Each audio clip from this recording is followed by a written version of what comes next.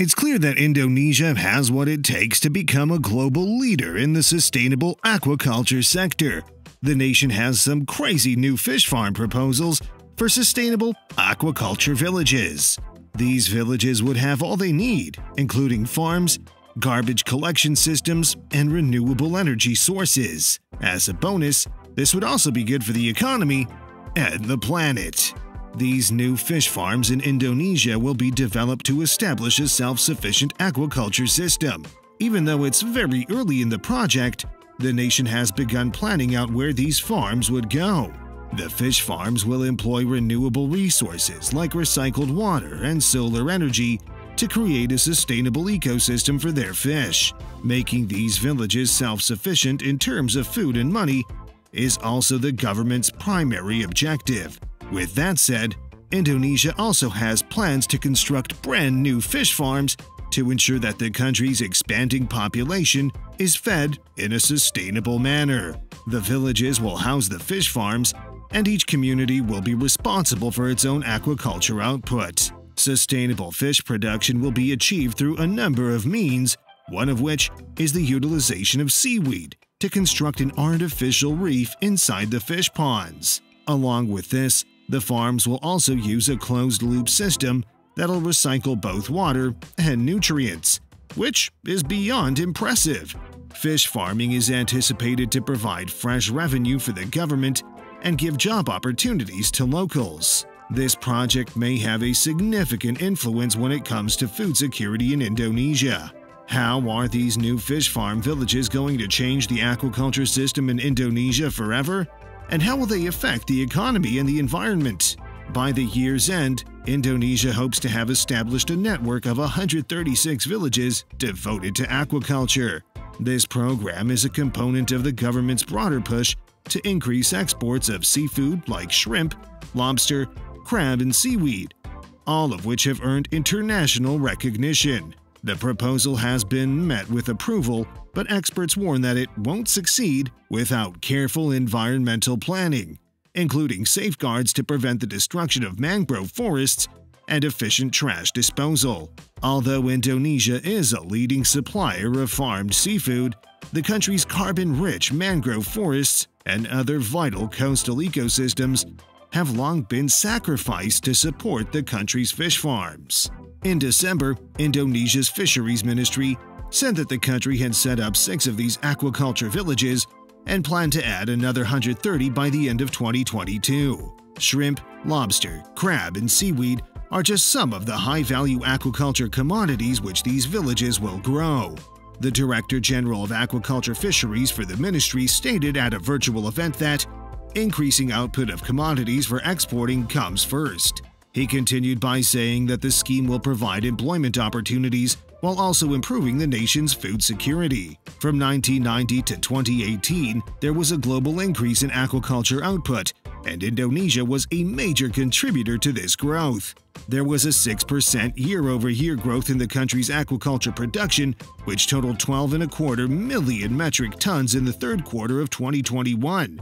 While Indonesia leads the world in exporting frozen saltwater shrimp, it trails behind its neighbors in exporting fresh, salted, or smoked shrimp.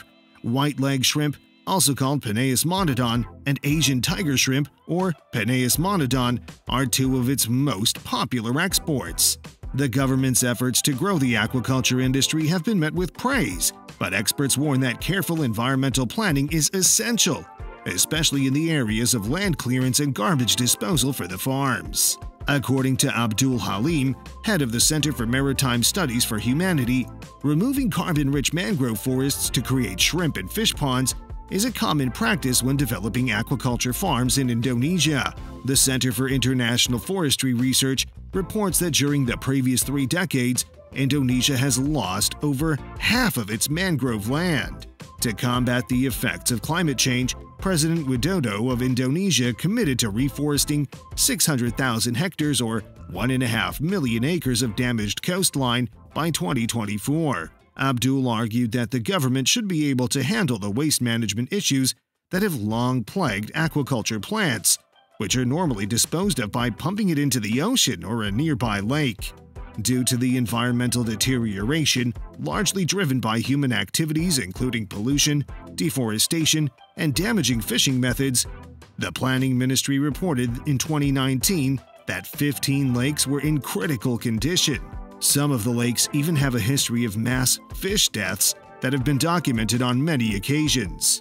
According to Abdi Suhufan, the national coordinator of the non-governmental organization Destructive Fishing Watch Indonesia, the government needs to address fundamental challenges facing the aquaculture sector, such as creating a detailed map of the farms, establishing the land's legal status, and implementing effective water management. Avoiding mangrove degradation while also revitalizing the shrimp farming business has been a government priority for many years. Abdi, however, claimed that hardly any progress had been made in this regard.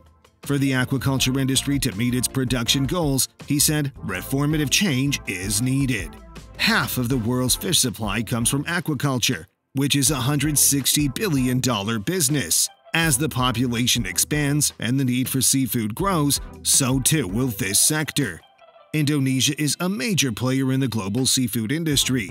The government has made significant investments in fish farming, and it is currently the top exporter of farmed fish in the world. The modern fish farms in Indonesia are vast and very productive. They use cutting-edge technology that allows for rapid fish production.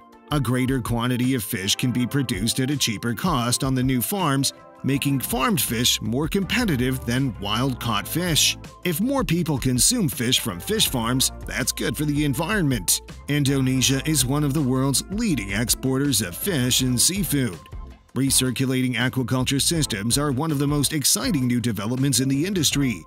RAS may be employed in either saltwater or freshwater ecosystems to increase the stocking densities of fish. The use of RAS has been met with much success in other areas of Asia, and there is hope that it'll be implemented on a larger scale in Indonesia as well. LED illumination, which may stimulate growth and enhance yields, is another potential technology. Tuning LED lights to certain wavelengths promote growth in plants. It has also been shown to have similar effect on fish. Indonesia can gain a lot from fish aquaculture. It helps rural communities by creating employment and giving a boost to small-scale farmers' incomes. As an alternate food source, fish farming aids in the preservation of wild fish populations. Along with this, fish farming may contribute to enhanced water quality and other environmental advantages. Coastal erosion may be mitigated, and other species can find a safe haven in mangrove forests that are also utilized for fish farming. In short, fish farming has many positive effects on Indonesia and its people. With more than 17,000 islands and a total coastline of 54,716 kilometers, Indonesia is the biggest archipelago in the world.